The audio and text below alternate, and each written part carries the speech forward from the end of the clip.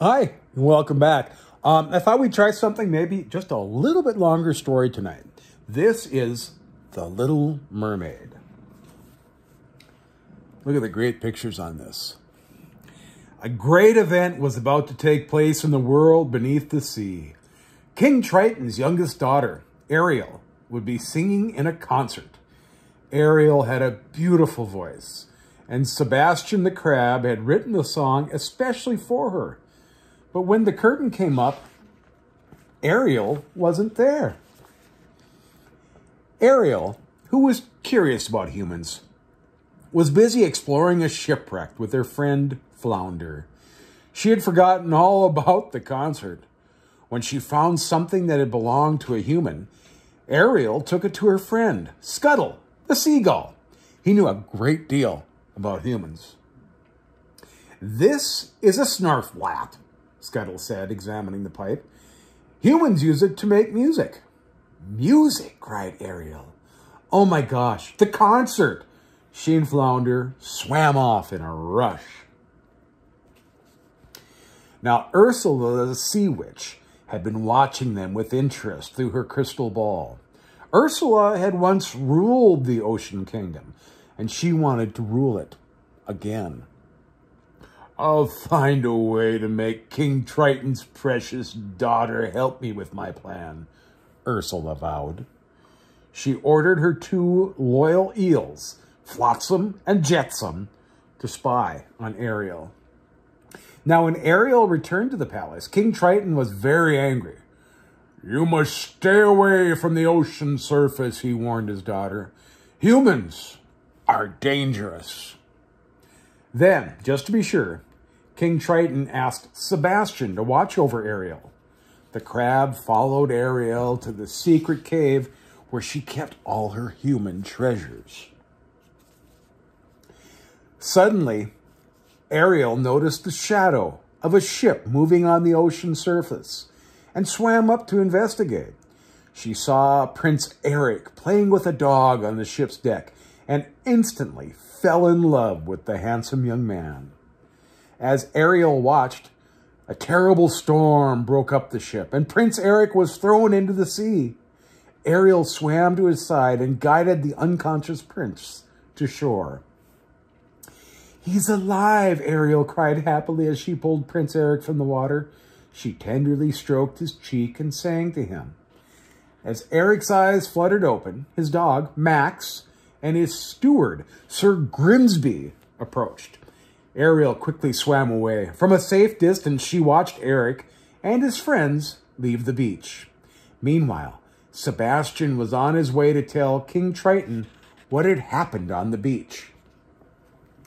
Someday, Ariel said to Flounder, I'll be part of their world. In the meantime, Flotsam and Jetsam rushed back to Ursula, who'd been watching Ariel uh, fall in love with uh, Prince Eric in her crystal ball. Wonderful, Ursula cackled. I'll use her love to get rid of King Triton. At the very same time, Sebastian was telling the king all about Ariel's adventure. King Triton was so upset that he went to Ariel's cave and destroyed her treasures. Maybe this will teach you to stay away from humans. As soon as the king was out of sight, Flotsam and Jetsam saw their chance. Ursula will help you win the prince's love, they promised the sobbing mermaid.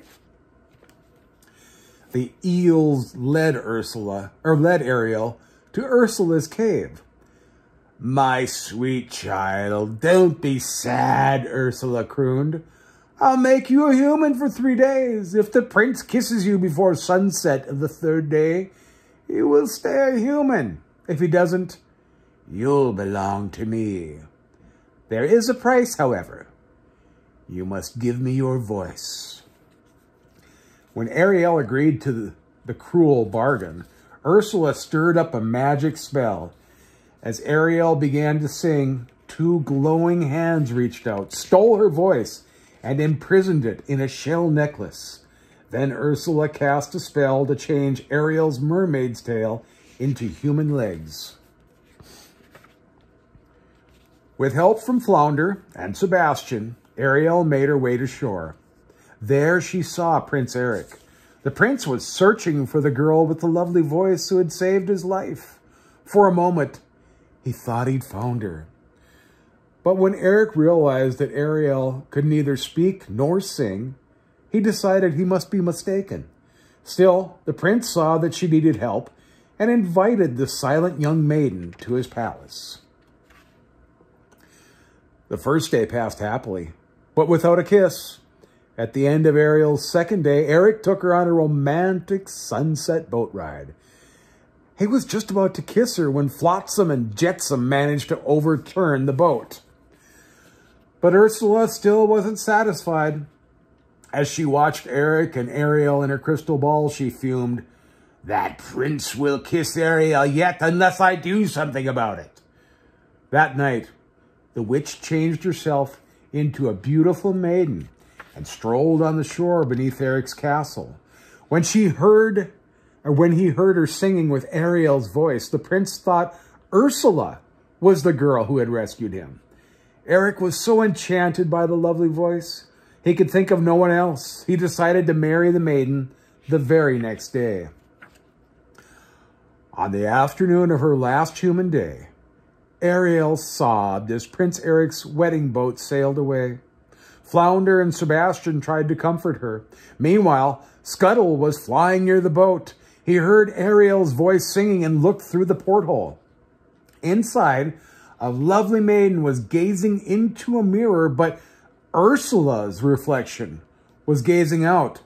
Horrified, Scuttle flew off to warn Ariel. The prince doesn't know it, but he's about to marry Ursula, he sputtered. Sebastian swam off to tell King Triton, and Flounder helped Ariel swim to the wedding boat. As she climbed aboard, Scuttle and his friends created a ruckus that stopped the wedding ceremony. Then Scuttle broke Ursula's seashell necklace, and Ariel's voice flew back into Ariel's throat. Prince Eric was overjoyed when he realized it was really Ariel who had saved him. But as he was about to kiss her, Ariel's legs turned back into a mermaid's tail. You're too late, shrieked Ursula, who was once again the sea witch. She grabbed Ariel and dragged her into the sea. When Ursula returned to her cave, King Triton was waiting for her. I'll release Ariel in return for your kingdom, she said with an evil grin. King Triton loved his daughter dearly, so he agreed. Ursula grabbed his crown and magic trident. Laughing triumphantly, she turned the mighty king into a lowly sea creature.